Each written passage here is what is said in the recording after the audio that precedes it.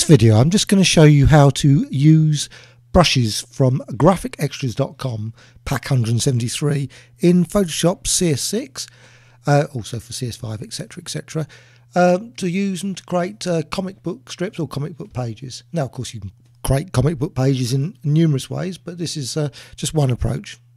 I can think of.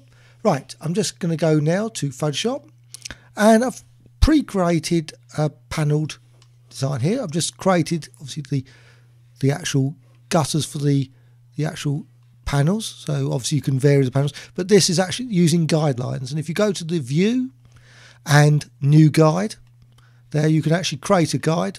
Obviously just position. So if you position it zero there, then you can just drag along using this this tool here just drag it down. So you can just basically create a nice uniform thing. Of course, you can actually save this as a PSD file and just use as a template for uh, future comic books. So now I'm just going to cancel here. Now you could also use selection and use this feature here to add to the selection so you can build an entire selection or you can just do obviously panels selection for each of those. So I'm just going to just drag out selection here and that's the first panel and it actually snaps to the the guidelines. That's the whole purpose of the guidelines. Very useful. So now once I've done that go over to the brushes. And in this case like I say I'm using these uh, brushes from graphicxtras. They're actually in PNG files but uh, to actually load them in all in one go I've actually used an action file. I, I include in the set selection of action files.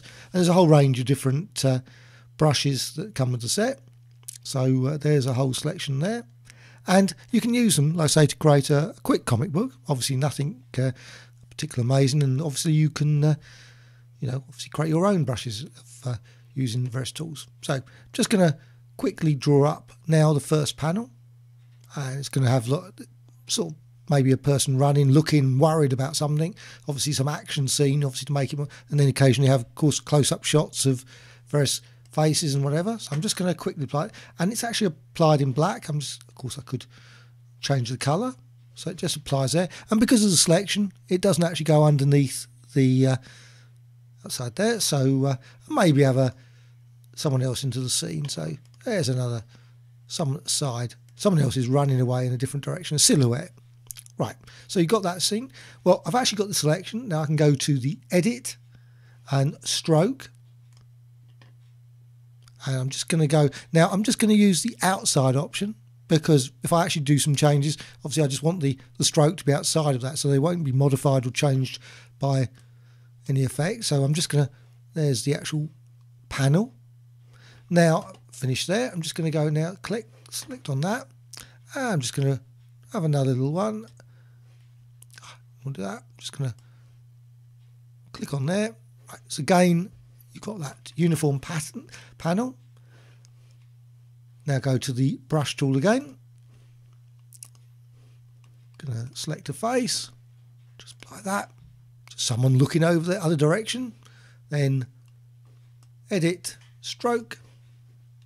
Again, another panel. And another panel here, maybe a smaller one. I'll just put that one there. Going to the brush tool, and of course, you can apply effects as well. So you don't have to just uh, just go with uh, the straight uh. So someone just says talk in this or or in fear, and they've just got. And maybe you could want you know maybe blur it. Maybe you don't want to. Uh, so I mean, you don't have to keep it as sharp as maybe like a normal comic page, but you can apply effects, of course.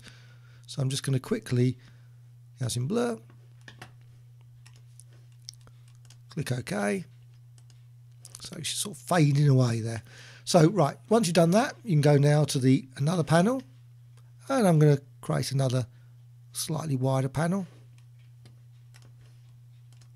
And there's lots of different other poses, expressions. So people are doing various things. Someone's like dramatically running back into the, scene. There's maybe a, a multiple, so lots of a tussle. There's a fight scene. Just there, lots of people battling to get away at that point. Go down there. And now I'm actually going to apply a bit of a, an effect to make a little background scene. So again, like say, you can use other effects, so filter and then render, lens flare or lighting effects. Now I can just quickly apply that.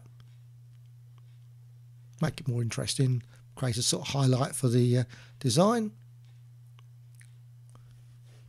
Move that down into the actual panel.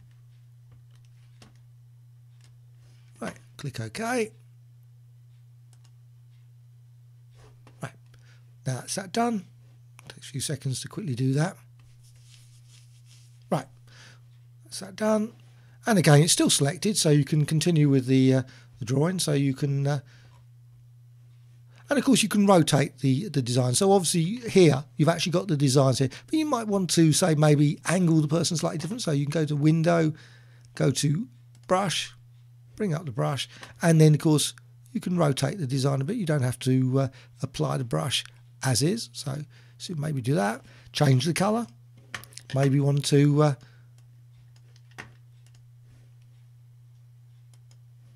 make a sort of motion of maybe even uh, change opacity so you don't have to uh, make it fade away as it sort of disappears into the thing. Right, so once you've actually done that, and of course you can then, and these ones I didn't actually do a selection around the panel, so you don't have to have that. You can have the, the story sort of.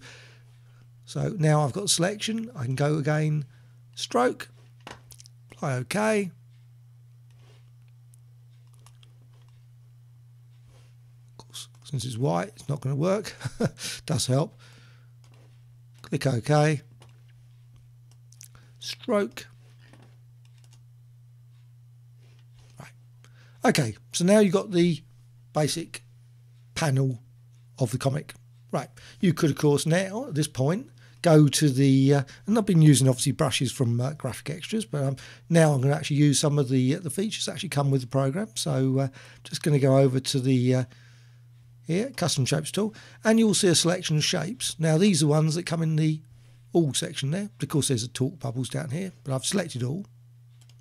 And I'm actually just going to quickly apply that.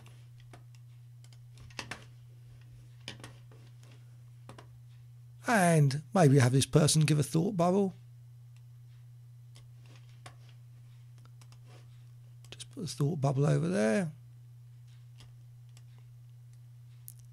Of course, you can change the colour of the thought bubble. So I'm just going to quickly go over to the change the stroke,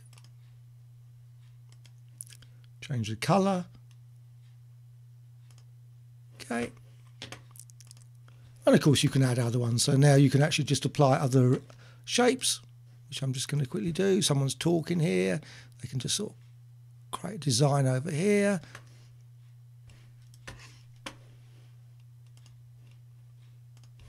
other bubbles over here, and so on and so on. Of course, then you can also apply layer, drop shadow.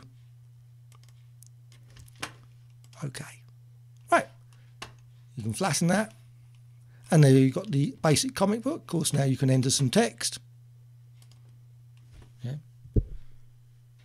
Run, run, and so on and so on. And of course, then you can actually go if you want, you can actually go and now apply different effects. You can go to image, adjustments, and should flatten the image. Image, adjustments, and use the color lookup. I'm going to give a crisp, warm film stock effect, and so on and so on. There's like literally infinite things you can do with the page. Of course, you can keep the uh, the layers all active, so you can of course move things around, and of course you can even use layer comps if you wish. There's obviously the window layer comps feature, so you could actually create a comic book where the panels, as well as these other ones, are actually movable at any point. So you can restructure the comic if you wish, the comic page at some future date, as well as change the text, as well as visibility and many other things.